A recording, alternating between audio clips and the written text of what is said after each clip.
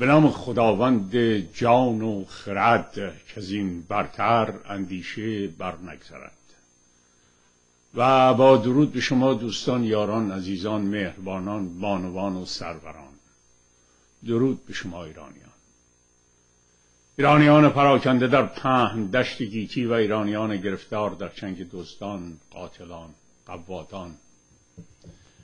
قاچاقچیان مال مردم خوران از خدا بیخبران. خدایی که خودشون میگن بهش اعتقاد داریم.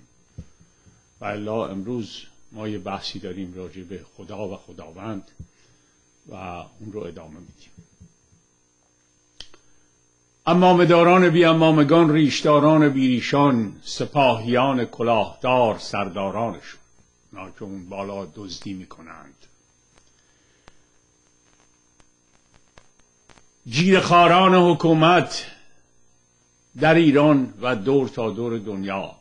این که من میگم جیرخاران در لس آنجلس اینها تعداد زیادی عوامل دارن که این عوامل به رادیو تلویزیون ها آگهی میدن. مثلا شما از اون مارمزون زور و شب و نصف شب و اینا رو ممکنه تو ایران یکیش از دستتون بره ولی تو لس آنجلس از دستتون نمیره. چون عوامل اینا اینا میرن رادیویی رو میگن که ما به تو انقدر پول میدیم سر این ساعت ها برنامه اخبار تو قطع کن از اونو پخش کن و می‌کنه. اون وقت یه عوامل هم میفرستن اینجا مصاحبه کنه. پشتوانه نمم دکتر و مهندس و استاد دانشگاه و روز یک شنبه صبح بود. یه دونه اینا که از گور فرار کرده واقعا. من پیرمردم. حالا ببین اون چی بود. اومده بود و می گفت ما ایرانی ها هیچی نداشتیم. هر چی داریم از عربا داریم. در لس آنجلس در رادیو 670 ام اسمش هست. مصاحبه گرم. بالاخره کارمند اونجا بهش میگن اینقدر پول بگی با این مصاحبه کن. اونم میره می‌کنه. همه به فکر اینن که چقدر پول در میارن نهار بخورن شام بخورن ماشین بهتر بخرن.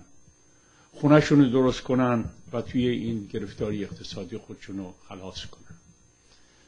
متاسفانه مقصویی که در ایران 1400 سال پیش شده روی افراد ناآگاه لس آنجلس امروز داره میشه که فارسی حرف می‌زنن.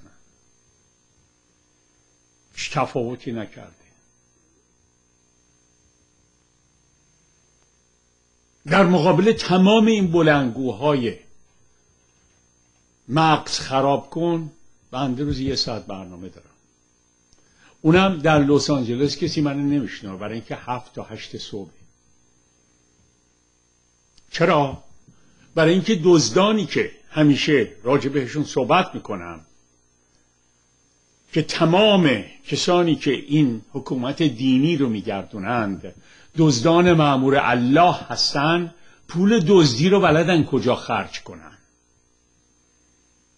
این پولای دزدی براشون فرق نمی‌کنه معتاد چقدر تو ایرانه. سریال یوسف و زلیخا چهارده میلیارد تومن خرجش شده.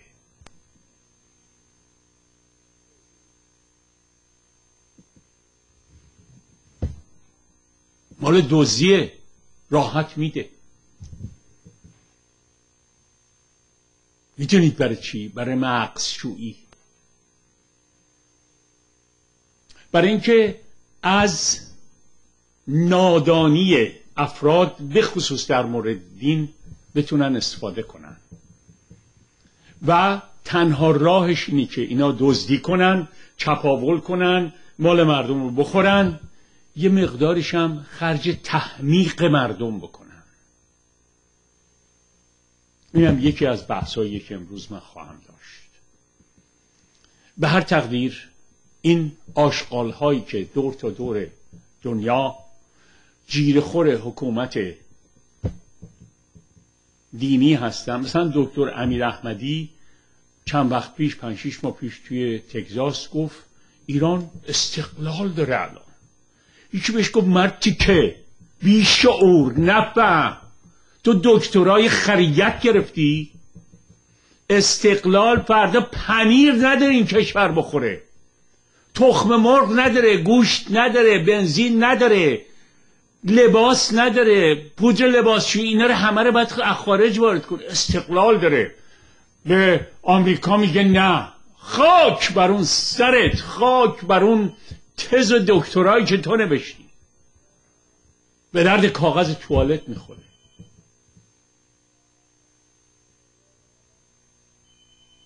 این گرفتاری رو ما داریم.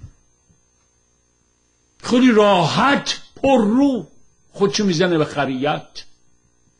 پول گرفته.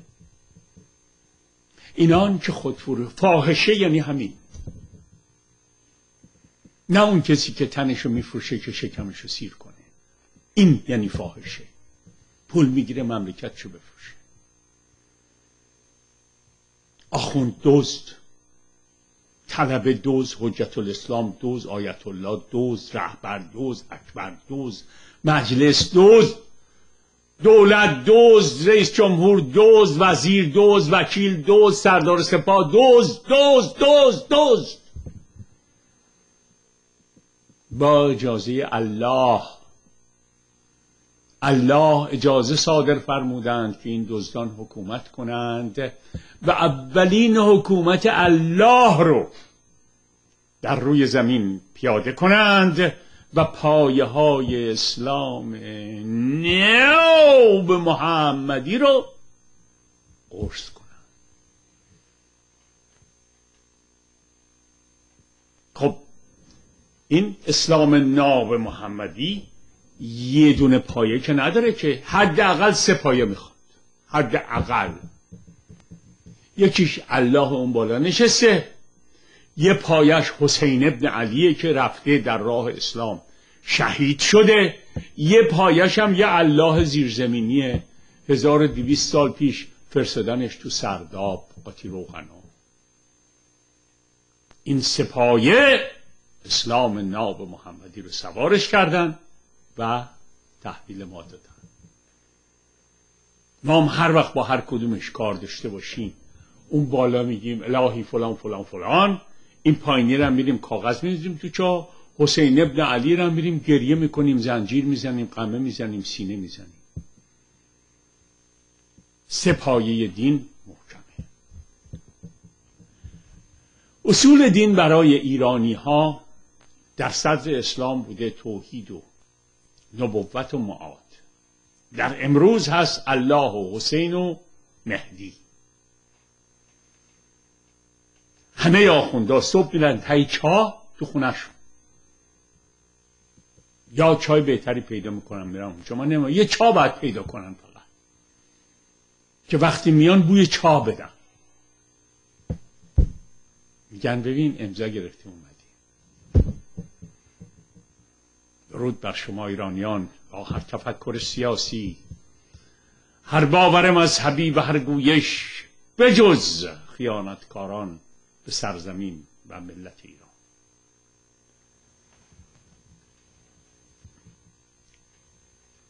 دیروز بحث اولی که داشتیم بحث این بود که ما اگر یه چیزی رو ندونیم و بهش ایمان بیاریم و برای اون ایمان هر کاری خواهیم کرد. کشورهایی که با عقل با شعور با منطق با دانش کار می‌کنند اینها میان آدم میفرسن ماها رو ارزیابی می‌کنند. میگن که این ملت نقطه ضعفش کجاست؟ باز میرم سراغ پاشنه آشیل. نقطه ضعفش ملت طمعکاره. نقطه ضعفش این ملت مذهبیه. نقطه ضعفش این ملت مثلا پونزده سال اعتصاب نکرده. من زمان پنجاه هفت رو دارم میگم. و بعد میان اینا رو طرح ریزی می‌کنن.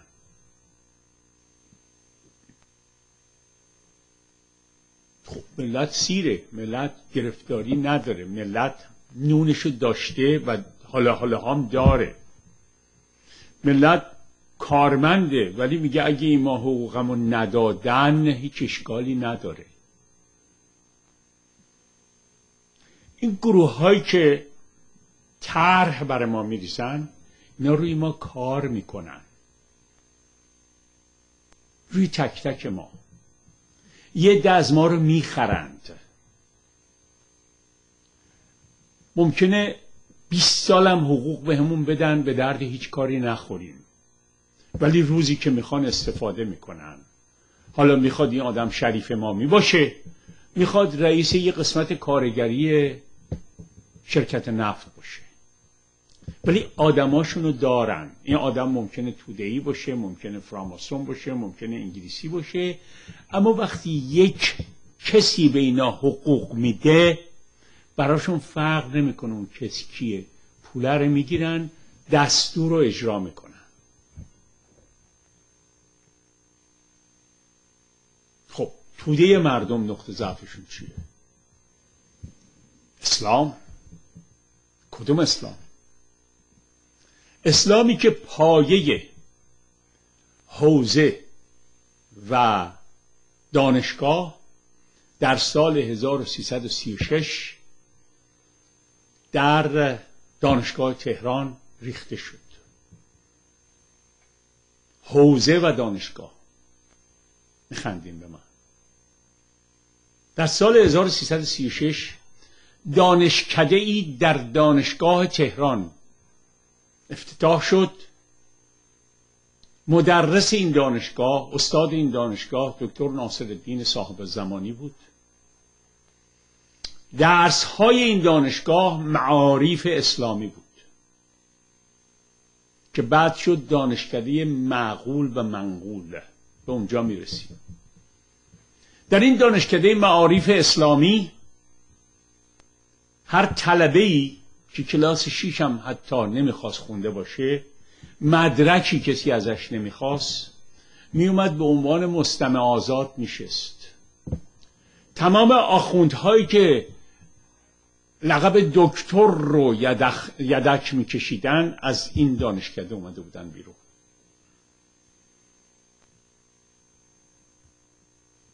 معارف اسلامی. معقول و منقول. در دین دو تا درسه درس عقلی و درس نقلی.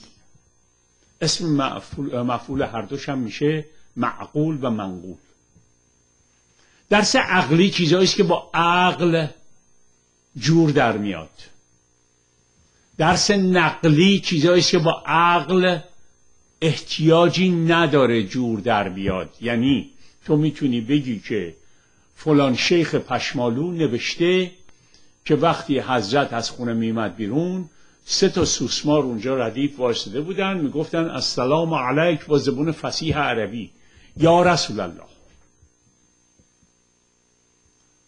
در کشوری که اصلا درخت پیدا نمیشه حضرت وقتی می‌رفت تو بیابون بیابون لم یزرع همه درخت سرشون رو دلا می‌کردن. می‌گفتن السلام علیک یا رسول الله.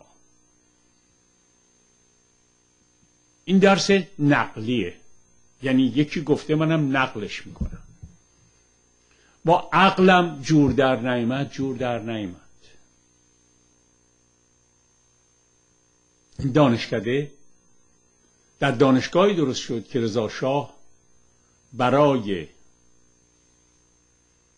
ساختن فرزندان دانش آموخته که فارغ و تحصیل اونجا باشن بیان بیرون این هم قاطیش شدن. و بعدش هم پشت اون یه مسجد ساختن و بعدش هم مسائل اسلامی که منجر شد به مسلمان شدن همه ما. شیعه سرخ و شیعه آبی و بنفش و شریعتی و مفتح و و آخر عاقبتی که گریبان ما رو گرفت. هم هم شکمشون سیر بود. گفتش که بریم عرق خوریمون رو بکنیم. گفت نمازم رو نخوندم. بس برم نمازم بخونم و بیام. گفت با من عرقم می‌خورم میرم دهنم آب می‌کشم نماز می‌خونم. مسلمانی ما اینجوری بود.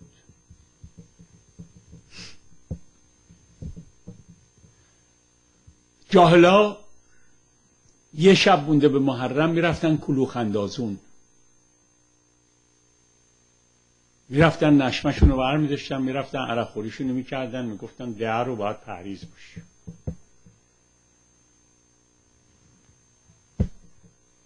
این مسلمانی ما بود. خانمه با مایه دو تیکه لب دریا بود بعد می‌رفت تو خونه چادر سرش می‌کرد با میساد نماز می‌خوند. اسلام آریامهری اینجوری بود. اینا که من دارم میگم تو کتاب نخوندم. اینا رو با این چشم و با این گوشم دیدم. اینا رو من شاهد بودم.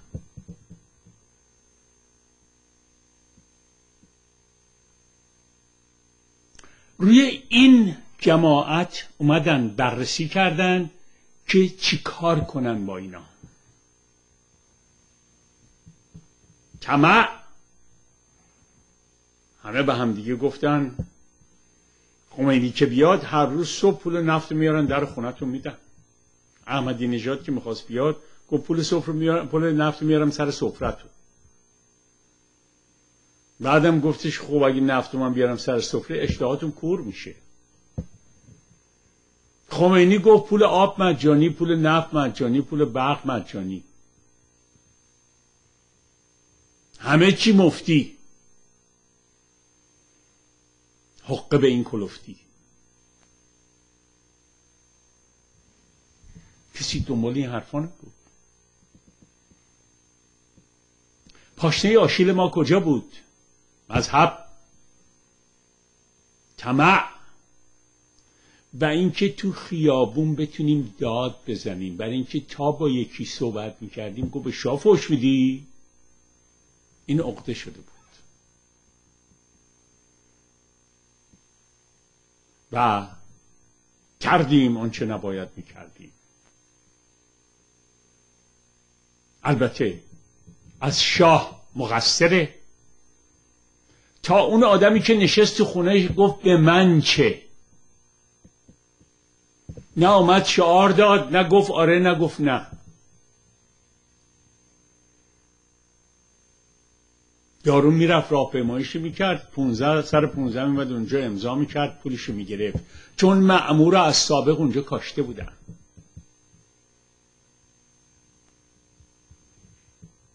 آموزگار اومد مأموریت چه انجام داد؟ رفت بعدش هم کسی نمی‌دونه کجاست هنوزم که هنوزه داره حقوقشو می‌گیره زندگیش می‌کنه. شریف امامی همینجور به محضی هم که اومد آمریکا گفت من رئیس دفتر بنیاد پهلوی هم همه اینا رو امضا می‌کنم به اسم حکومت دینی. کسی هم باش کاری نداشت حقش هم گرفت زندگیش کرد تا آخرش که مرد به درک واصل شد. ازهاری کاراش که انجام داد مرض قلبی گرفت اومد تو امریکا فرش فروشی با کرد. آقای دکتر بختیارم سی هفت روز حکومت کردند. هر قدمی که خمینی گذاشت جلو ایشون یه قدم گذاشت عقب و بالاخره از مرز بازرگان فرار کردند و رفتند یه حکومتی در پاریس تشکیل دادند و به علت اینکه زیاد می‌دانستند چون کبریت بی خطر بود با کسی کاری نداشت. ما موافقت کشور فرانسه ایشون رو کشتن. حالا اگر ما بیایم همه این چیزها رو ازش پند نگیریم اینا رو من گفتم فرقی نمی‌کنه همه اتفاقات افتاده. اما به قول عبدالحسین زرینکوب که می‌گفت گذشته چراغ راه آینده است بیایم بشینیم از این چیزها پند بگیریم.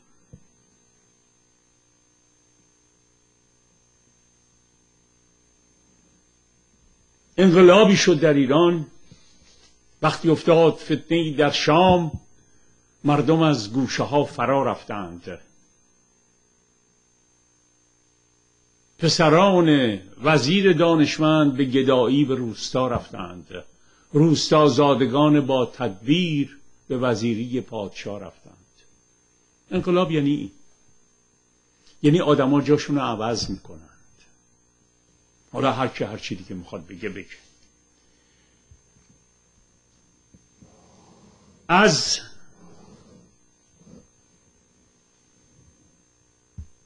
این ماجرا یک عده استفاده بردند یک عده ضرر دادند. اگر ما پند بگیریم اگر بفهمیم اگر بدونیم اگر کورکورانه ایمان نداشته باشیم همون جوری که دیروز گفتم. یه چیزایی تو این کتاب های مقدس کتاب های آسمونی نوشته با عقل سالم جور در نمیاد. با علم جور در نمیاد. آقا من نمی‌تونم قبول کنم یه چوب بزنی به دریا دریا شق بشه.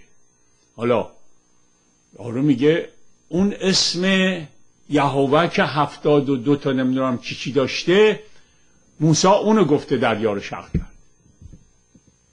قبلش برو دو هزار تا ایراد ازش می‌تونی بگیری. ولی ایمان وقتی داری حرفای من مزخرفه و وقت. سه هزار سال پیش همه اتفاقات ممکنه به امروز نمیفته اگه گفته این یعنی این. اگه گفته اون یعنی این. 1400 سال پیش یه سرویس فدرال اکسپرس از مکه محزمه با طبقه هفتم آسمون که نمی‌دونیم کجاست این سرویس مرتب. یه کسی به اسم جبرئیل می‌رفته و میمده خبرهای اگه حضرت با مورچه دعواش می‌شده یه آیه می آورده واسه مورچه.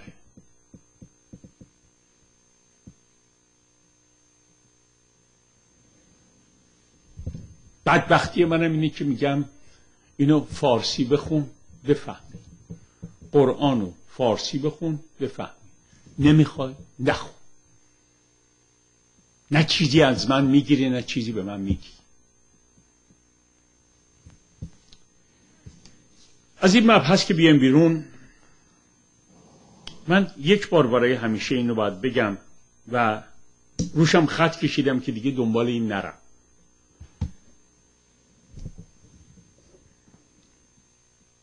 برای کسانی که ببینید دانشمندا راجع به روح خیلی چیزا نوشتن. راجع به کتابم راجع به روح زیاده. یه خانمی هست اینجا من کتابش دارم اگه می‌خواین براتون بفرستم. از گور به گهواره. ایشون اومده از فیزیک کوانتوم که من تو نمی‌دونیم چیه. میگه فیزیک کوانتوم میگه روح وجود داره. علم میگه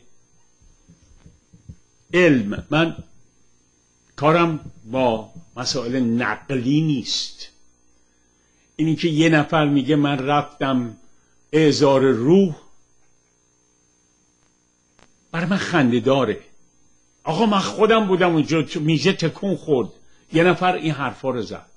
هر چی شما میگی من گرفتاری ندارم با شما.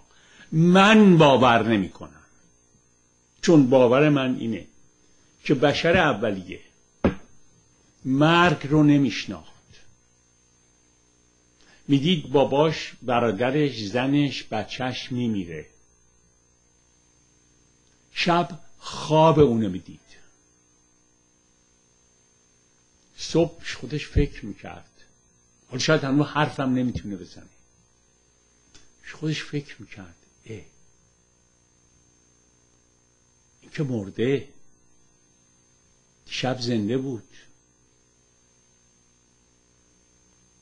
کم کم کم کم کم کم.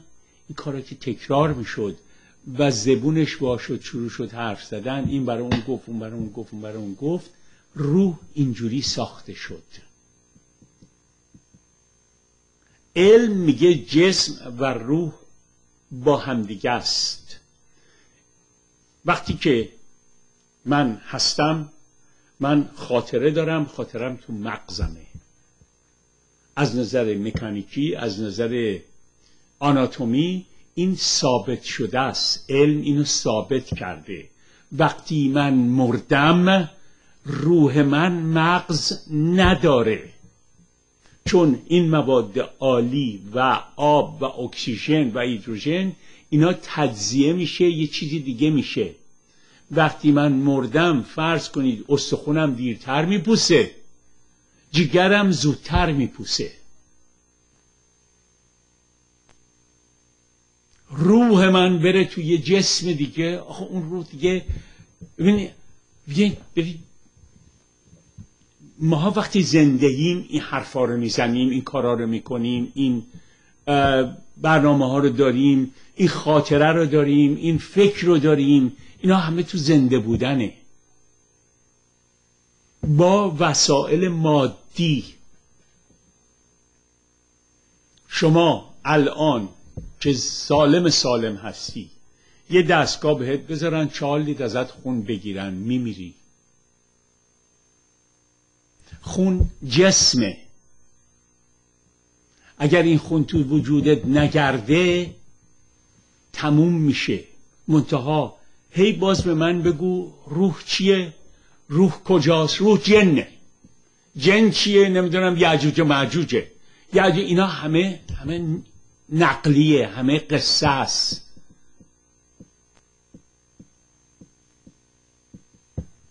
باز نمی‌خوای حرف منو باور کنی؟ حرفی ندارم ولی دیگه از من نپرس. نخوا که روح رو به من ثابت بکنی. به تو ثابته من مخلص شما من چاکر شما شما اصلا خودت روحی.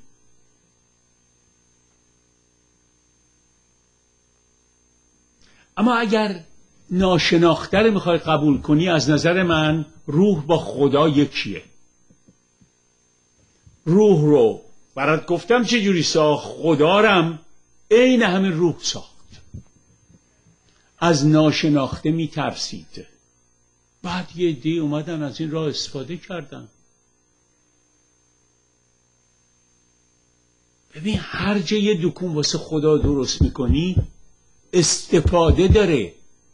مردم میان پول میدن اونجا خدا می‌خرن. آدمایی هم که نمی‌خواستن در طول تاریخ کار کنن اومدن خدا فروش شدن. بعضیاشون کارشون گرفت سلطان هم شدن.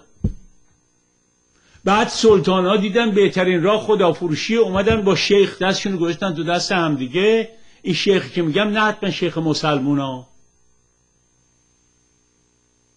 پادشاهان یهود هم با شیخهای یهود دستشون تو دست هم دیگه بود. یا خود پادشاه شد شیخ. شیخ یعنی نماینده خدا.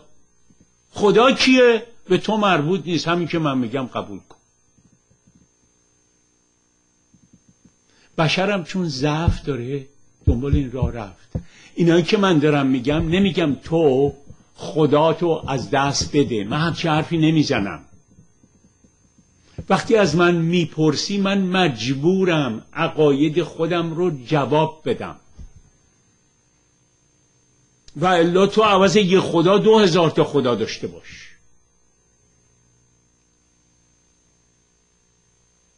یا همون یه خدا رو داشته باش. هر کاری دلت می‌خواد بکن.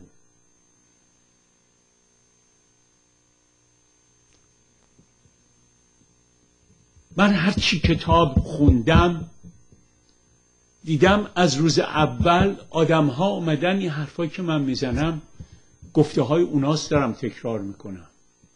گوش شنوا نبوده یا کسی نمی‌رفته کتاب بخونه. وقتی که حافظ میاد میگه تا به کی؟ ای زاهد فریبی به سیب بوستان و جوی شیرم یعنی چی؟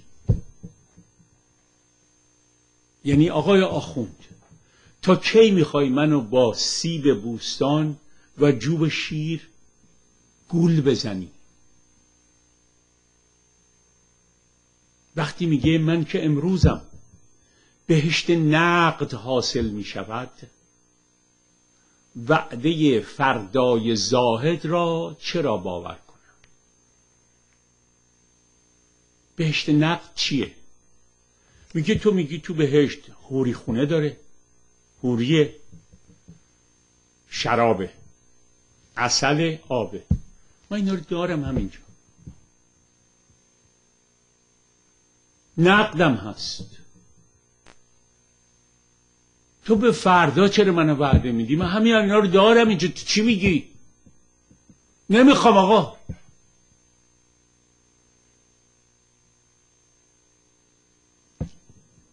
خب ما اینو دلی دلی خوندیم و رفتیم. همون جوری که قرآن دلی دلی می‌خونیم.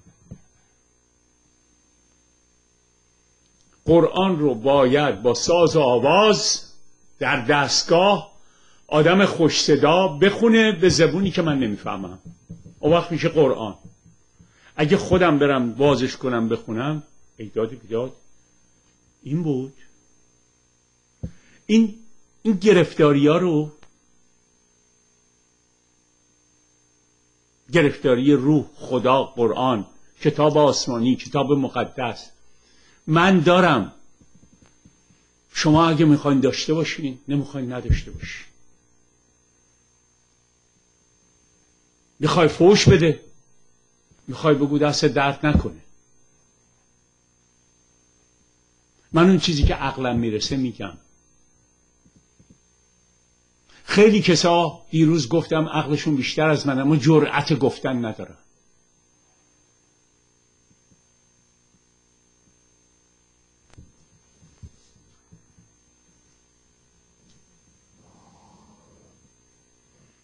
یا آقایی گفتن که من توی خانواده مذهبی بودم پدرم اینجوره پدر بزرگم مادر بزرگم همه آخوندم. و دوست دارم ایران ایشون. کل خرج برنامه تو بدم. خدا پدرت بیاموزه خوبه؟ به زبون پدر بزرگت گفتم. دیگه گفتن نداره.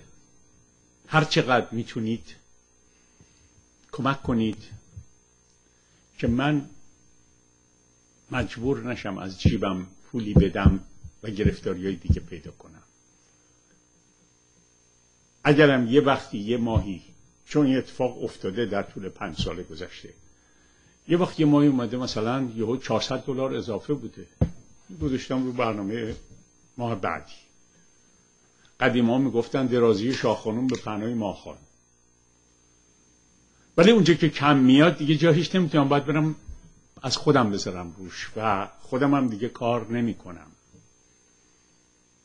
این شف سالی که من اومدم لس آنجلس از 2002 هفت ساله. خیلی پول رو این کار گذاشتم. اشکالی هم نداره. خودم خواستم منت سر کسی نمی‌ذارم. خودم خواستم این کار شده. و هیچ مسئله هم نیست. داشتم کردم. الان دیگه نمی‌تونم این کارو بکنم. برای اینه که گفتم شماها یه طرف قضیه رو بگیرید. خیلی راحته. ببینید کسانی که برنامه را از طریق اینترنت می‌بینن اگه هر کدوم ماهی ده دلار بدن می‌دونید چقدر میشه. من اصلا دیگه احتیاج به کتاب فروشی هم ندارم.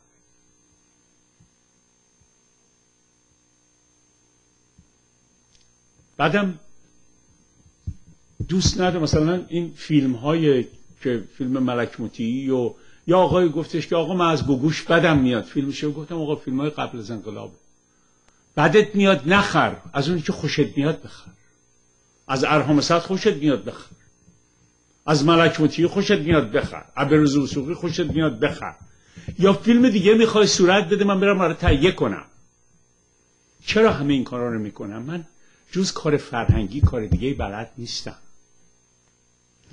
یه خورده که خط ما عوض کردم اومدم رفتم اینجا فر بند فر اولیش هم گردن خودمه. اینم سیمبل سمبل ملی منه. سمبل دینی نیست. من دین ندارم. دین من انسانیته. یک کسی پرسه بود دین انسانیت چیه؟ دین انسانیت کتاب نداره. اگر کسی انسانیت رو نمی‌فهمه هر دینی دلش می‌خواد داشته باشه داشته باشه.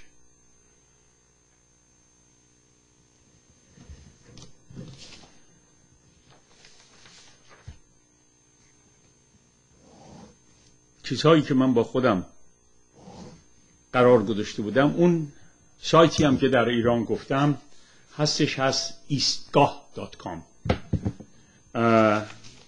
می‌خوام یک چند تا شما رو در جریان بذارم با دوستانی که از ایران.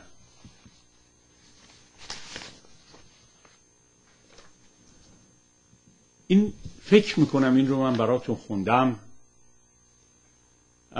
که دوستی برای من نوشته بود من نمی‌خوام به بهشت برم. دوست دارم به جهنم برم و می‌خواهم سوزانده شوم. دلیلش این که میگه بهشت هفت طبقه دارد.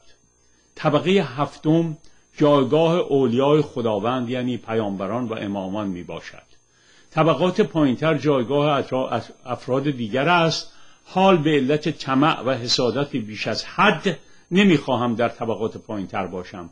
از طرفی به علت ترس از ارتفاع ماندم که چه بکنم؟ پس همون بهتر که در جهنم باشم. به علت اینکه این جانب تحصیلات دانشگاهی داشته ولی پیامبران اکثرا یا چوپان بودند یا ساربان در نتیجه در حد کلاس و شخصیت بنده نیستند که با آنها در یک مکان تا ابد از نعمتهای بهشتی بهرهمند شوند. شماره سه در بهشت میوه چون انار، انگور، سیب، انجیر موجود می باشد. حال استفاده ترکیبی از آنها برای بنده مفید نیست زیرا از بچگی به بیماری های گوارشی مبتلا بوده. در اثر استفاده از آنها باعث می شود که نیاز مکرر به دستشویی داشته باشم از طرفی در بهشت به علت اینکه دستشویی یا توالت وجود ندارد پس بهتر که من در جهنم باشم. در بهشت پارتی بازی و استثناءات زیاد وجود دارد. مثلا اینکه در دنیا سفارش شده که نگاه بد به زن نباید داشت در حالی که در بهشت دسته دسته زن برایت می آورند و برای زنان چنین امکاناتی فراهم نیست. در این دنیا خوردن شراب حرام است مجازات شرعی دارد. ولی در بهشت جویهایی از شراب وجود دارد و خوردنشان اشکالی ندارد. خلاصه این که در بهشت خیلی از چیزهایی که انسانها در این دنیای فانی که با آنها دل اند وجود ندارد مثل پاک سینما کتابخانه وجود ندارد. پس رفتن به بهشت چه سودی دارد؟ در پایان از خداوند باری تعالی سوالی دارم. بچه هایی که از مادر به صورت عقب مانده ذهنی به دنیا می آیند و غیر طبیعی زندگی می کنند و برای آنها پیامبری بر نگزیده که راهنمایشان کند مرجع تقلیدی هم ندارند که راه و رسم زندگی را نشانشان دهد.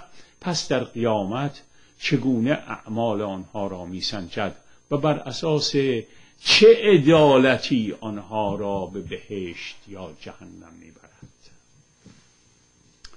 بر من قلم قضا چو بیمن رانی پس نیک و بدش ز من چرا میدانی؟ دی بیمن و امروز چو دی بیمن و تو فردا به چه حجتم به داور خانی وقتی خیام این سال از خدا الله یهوه پدر آسمانی هر کی هر کی دلتون می‌خواد کرد همه دلی دلی خوندنش. یک ایمیلی اومده میگه چه کسی می‌گوید که در جمهوری اسلامی گرانی است؟ اینجا دوره دوره ارزانی است. شرافت ارزان است. تن اوریان ارزان است. و دروغ از همه چیز ارزانتر. آبرو قیمت یک تکنان و چه تخفیف بزرگی خورده است. قیمت هر انسان. یک هواپیمای شرکت هواپیمایی ایران که از شیراز و اصفهان به تهران می آمد در نزدیکی فرودگاه مهرآباد هنگام کم کردن ارتفاع برای نشستن سقوط کرد. همه مسافران و سرنشینان آن جز دو تن رئیس حسین عدل رئیس شرکت تلفن شیراز و مهندس خزاینی کشته شدند.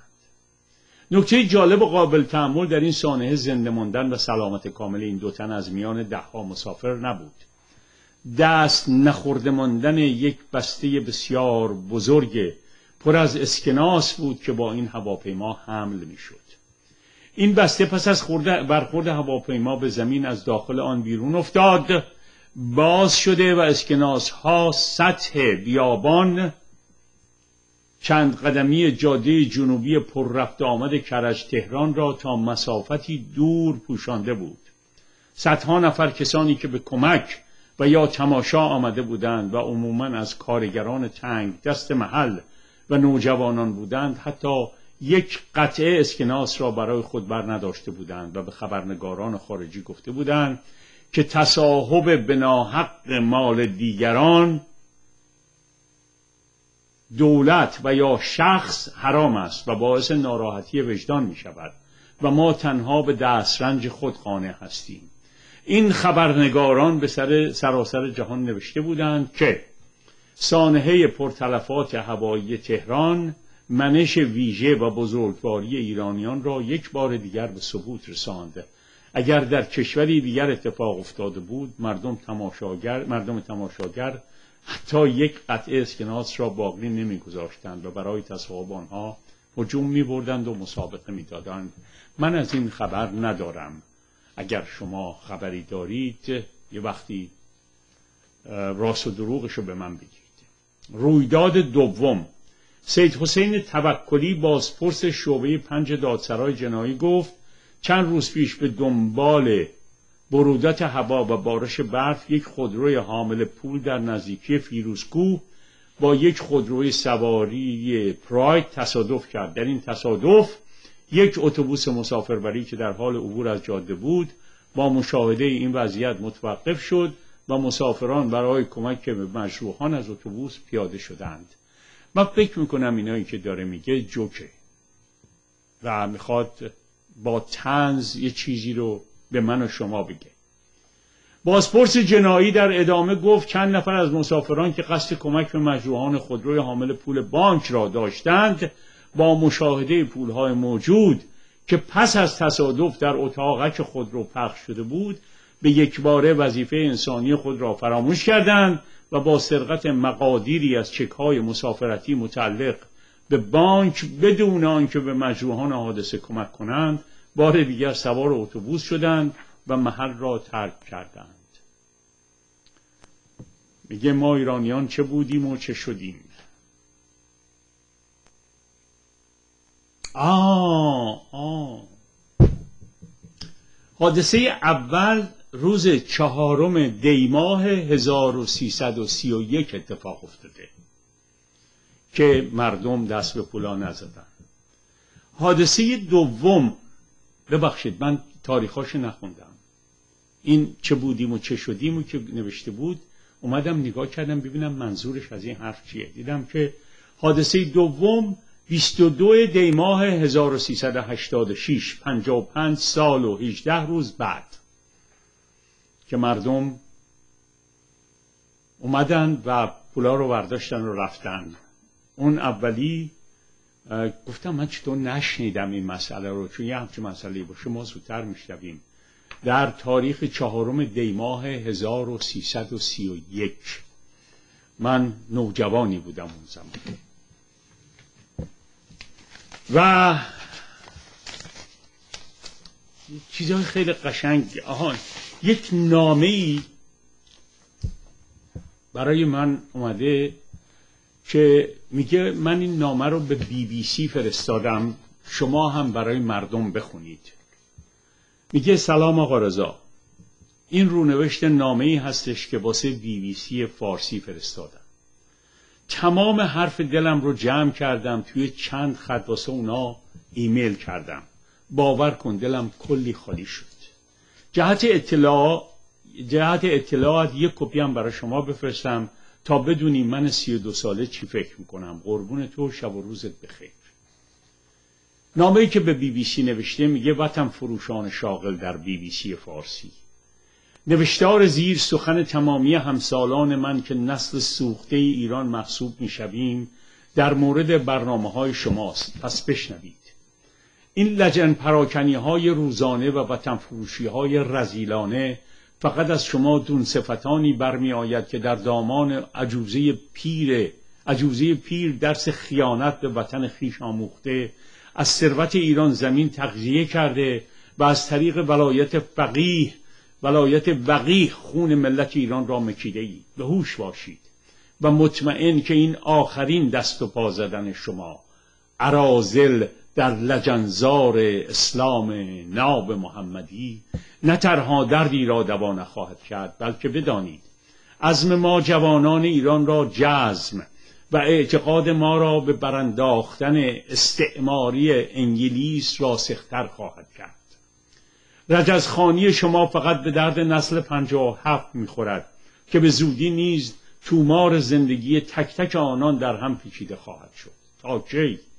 تا کی با این رزالت وطن فروشی زشتتان جان کندن وقیهتان تکیه بر سیاست ها و دزدی های عجوزی پیر از ثروت ایران ولایت نکبت وقیه و اسلام تنفرآمیز می‌خواهید. به سلطه کشوری بیگانه و اقلیتی اشغالگر بر ایران دامن زده و بر عمر نکبتبار اسلام ناب محمدی اضافه کنید. نسل سوخته ایران به خاطر آزادی فرزندان خود و به امید به دست آوردن آنچه که این سی سال حتی از فکر کردن به آن محروم بود حتی از زندگی پدر و مادر خود که در انقلاب 57 شرکت جستند و در خیانت به ایران زمین شریک بودند خواهد گذشت. ما اشتباهات پدر و مادر خود را تکرار نخواهیم کرد. ما نیاز به شبان نداریم. ما جوانان نسل سوخته گوسفند نیستیم. مردابی که در آن دست و پا می‌زنید منزل آخرتان است.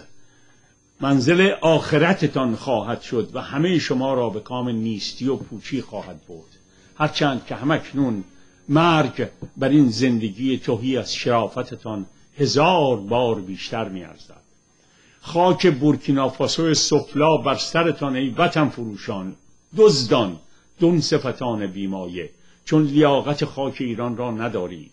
به زودی ایران را آزاد خواهیم کرد و در دنیا با سربلندی زندگی می کنیم شاید عمر ما جوانان نسل سوخته برای لذت از آزادی کفاف ندهد. اما مطمئنا دنیایی آزاد برای فرزندانمان خواهیم ساخت. مرگ بر ولایت فقیه مرگ بر انگلیس ننگ بر شما وطن فروشان لعنت ابدی ایران بر شما. نامه است که من برنامه ای ندیدم از بی بی سی ولی حتما خیلی دردش اومده که اینجور فریادشو تا روزی که شما به لاتائلات گوش بدید چیزی که الان بهتون نشون میدم از اینا زیاد به دستتون می‌رسه. روی این ورقه نوشته شده سیدی عبور از برزخ. قبض روح شدن میت. حمله حیوانات وحشی در قبر. سوال نکیر و منکر در قبر در قبر. وحشت و تنهایی میت در قبر و موارد دیگر. سیدی یک چهارصد تومان. من از خودم در بردم اینا سیدی عبور از برزخ. قبض روح شدن میت. حمله حیوانات وحشی در قبر. سؤال نکیر و منکر در قبر. وحشت تنهایی میت در قبر و موارد دیگر. سیدی یک چهارصد تومان. برای اینکه جیب مردم خام و نپخته و زود باور رو بزنند اومدن جهنم درست کردند. این شب اول قبر و نکیر و منکر و اینا رو محمد نگفت. تو قرآن هم هم چیزی نیست. اینا رو بعد درست کردن برای تو. آخوند که می‌خواست سوارت بشه هینت بکنه برات درست کرد. از شب اول قبر ترسوندت. قصه برات درست کرد. که تو وقتی وارد قبرت میشی قبرت شروع می‌کنه تو رو فشار دادن حالا من گفتم جسد منو بسوزونن. می‌دونی برای چی؟ برای اینکه من وقتی مردم اصلا چیزی نمی‌فهمم. تو فکر می‌کنی وقتی مردی گذاشتن تو قبر دوره زنده میشی؟ از این فکر تو که نمی‌خوای بگی که تموم شد وقتی مردم آخوند استفاده می‌کنه سوارت میشه. حاصل دسترنج تو می‌گیره و بهت سیدی عبور از برزخ میده. برزخ کجاست؟ برزخ دوزخ. ببین وقتی آدم نخواست فکر بکنه به این گرفتاری ها نکیر و منکر واسد می‌سازه. گرز آتشین می‌سازه. سیخ درست می‌کنه تو ماتحتت می‌کنه. اگر پول به آخوند بدی آخوند فوت می‌کنه همه اینا میره. اگه پول ندی به آخوند خود دانی و نکیر و منکر. آخوند دلال خداست. آخوند همه این کارا رو می‌کنه تو کار کنی اون بخوره به ریشت بخنده. مرمونا اینجا رئیسشون یه کشیشی بود. دوست داشت زن زیاد داشته باشه. گفت خدا به من گفته هر چند تا زن می‌خوای بگیری بگیر. حالا مرمونا هر چند تا زن می‌خوام بگیرم می‌گیرم. حضرت رسول از دختر امش خوشش اومد. آیه اومد دختر امه دختر دایی دختر خاله دختر امو همه اینا حلال. همه رو باور کن. همش درسته. اگه از حرفای من خوشت میاد فکر می‌کنی به مردم کمک می‌کنه. با دونیشن با خرید کتاب با خرید فیلم های سینمایی با خرید سریال دایجان ناپل اون نمی‌دونم ایتالیا ایتالیا با خرید فربهر با خرید دستبند کمک کن به این برنامه. اگرم خوشت نمیاد. چون یه دی که از اینا که خوششون نمیاد بعد از برنامه روز جمعه یارو تلفن کرده بود گفته خب تو که بو رحمان گرفتی. ذوق کرده بود. این مزاحم داره میره. حکومت دینی با هیچ کسی هم گرفتاری نداره فقط با من داره. منه که باید از همه تلویزیون ها کنده بشم. بقیهش با شماست. اونقدر خوب و عزیزی که به هنگام ودا حیف آید که تو را دست خدا بسپارم. پس بنابراین شما را به خرد بسپارم.